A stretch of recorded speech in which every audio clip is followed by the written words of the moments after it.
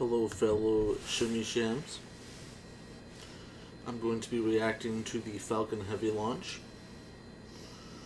Uh, it's more an excuse for me to talk about space than anything, because I, I missed the, like, initial launch, so I, I just kind of wanted to watch it. I decided it's the middle of the night, and I decided I'm going to go ahead and, well, going to go ahead and react to it. So, here we go. Three, two, one, go. For terminal count.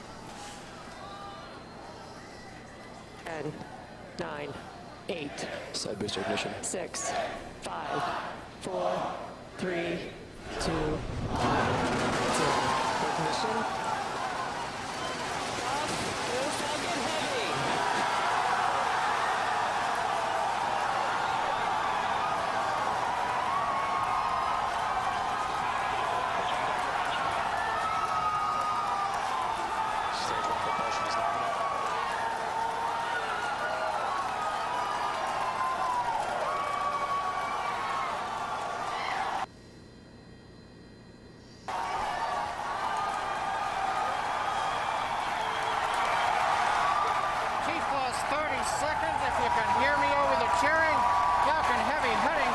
Space on our test flight. Building on the history of Saturn V Apollo. That's about uh, where I uh, came into this stream because it was uh, buffering for me. Um, and I, I'm gonna go ahead and say it. Um, to me, this is possibly one of the coolest things that have come out of the last, I'll say, 40 years of spaceflight. Sorry, ear is itching and I can't get to it. Okay, there we go it, it this is by far like also I I just want to say like it's it's very special to me. Um I've always loved space. Um everything about space. It's to me it's wonderful. Um space is one of those things that one of the few things that me and my dad um, always love. Um, he almost uh, went to school for astronomy, but he wound up doing nursing instead. But it's just something that I've always loved. I've always wa- liked watching space documentaries. I've always liked watching space launches of any kind. Um, generally, that's just one of the things. Like, I'm trying to get into journalism, and I'm hoping that SpaceX continues to succeed because my dream um, story to write about is literally about SpaceX going to Mars. Like a, a continuing story of them going to Mars. And I want I want that to be I want that to be a part of a potential career in journalism. I want to be a journalist who writes at least occasionally about space. And, and honestly, I love things about space because I feel like it is the future of our species. Um, I mean, I, that may sound cliche, but it is something that genuinely excites me.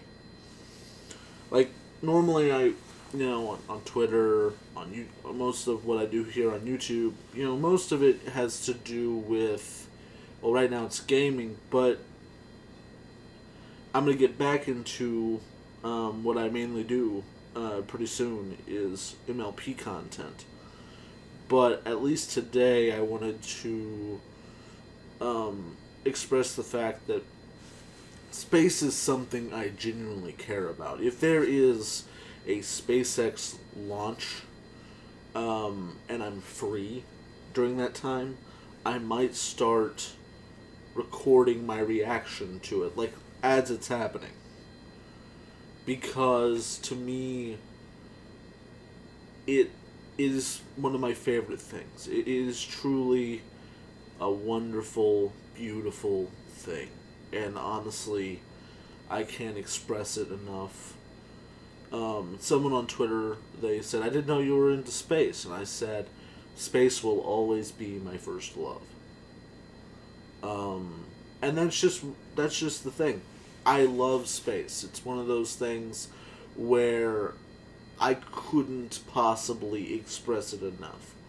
Maybe I'm overly hyped about space, but it's just one of those things. Um, for me. Um,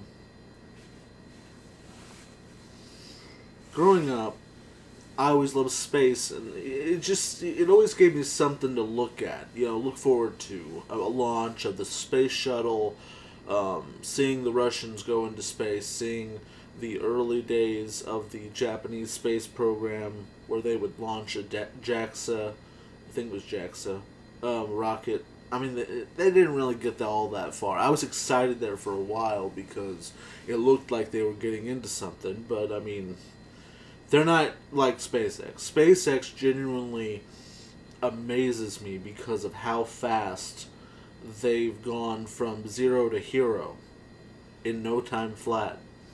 Like literally, in 2002, they were just a team of engineers with the dream of one day um, colonizing Mars, and here we are about.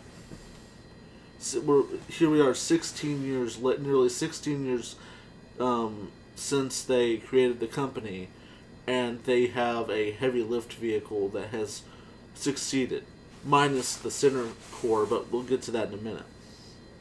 To me, it's just really exciting. Um, but yeah, the mission was an absolute success considering what they were expecting. What they were expecting was an, a catastrophic failure, a uh, unscheduled um, unscheduled uh, rapid disassembly or whatever they call it. Um, but what ended up happening was everything went according to plan. Even uh, the, um, the even the video feed of Starman stayed up for I think it was five and a half or six and a half hours, um, and then they just turned it off. I mean, I mean, you're not really gonna miss anything after that time. It's just basically drifting away from Earth at very fast speeds, way over the speed limit. anyway, um, the only thing that really went wrong is, oh, oh, and also they had like two boosters landing, and it was really cool. I would look up the launch if I were you like after you if you finish this video. If you don't, like go ahead and look up the launch if you don't want to finish this video. But the only thing that went wrong was the center stage, the central um, first stage. Uh, when it was coming back down, one of the three necessary um, one of the three necessary boosters um, fired, and the other two didn't. And it wound up landing, it landed at 300 miles per hour.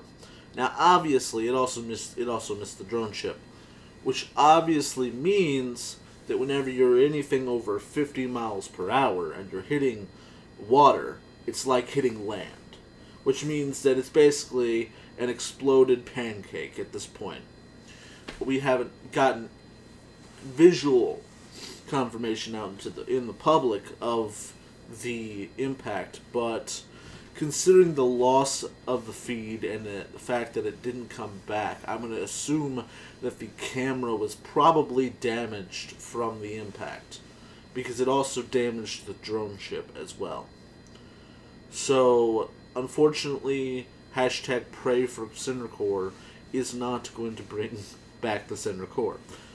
But what we do know is they need to develop the center core maybe a little bit more, or maybe just you know be more on top of it. Because honestly, they know what they're doing. They're they're at the point where they know what they're doing. They just had to do some tests, and really the only experimental part of the rocket was one the fact that they strapped three Falcon 9s together, but the two that landed were pre like they used them before. They knew that they were reliable.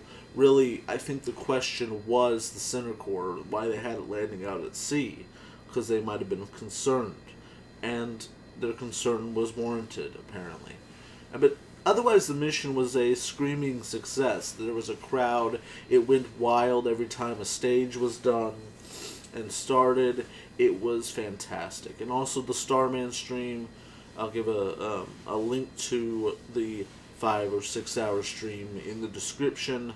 It was some of the coolest things I've ever seen. It was literally just a, a dummy in a SpaceX uh, spacesuit that was like driving the car like this with a sticker uh, um on the uh, um console of the car that says "Don't panic," and it has a little miniature uh, Hot Wheels Tesla Roadster with a little mini dummy inside of it that looks like the dummy that's in the actual car. So it's a little bit um, self-referencing meta, and it's amazing. So anyway, I'm gonna let you guys uh, um, go, but you know, it's just one of those things. Like I love space, and I thought I would just share with you that love for space. Like I know that I already uh, made this clear on Twitter, but I decided to go ahead and talk about it because honestly, I just love space, and honestly, I don't mind. I love making videos about things that I love. That's why I do gaming videos. That's why I do MLP videos, and I guess that's why I'm making this kind of reaction video. I didn't intend for this to be like 11 and a half minutes, but Anyway, thank you guys so much for watching. Bye.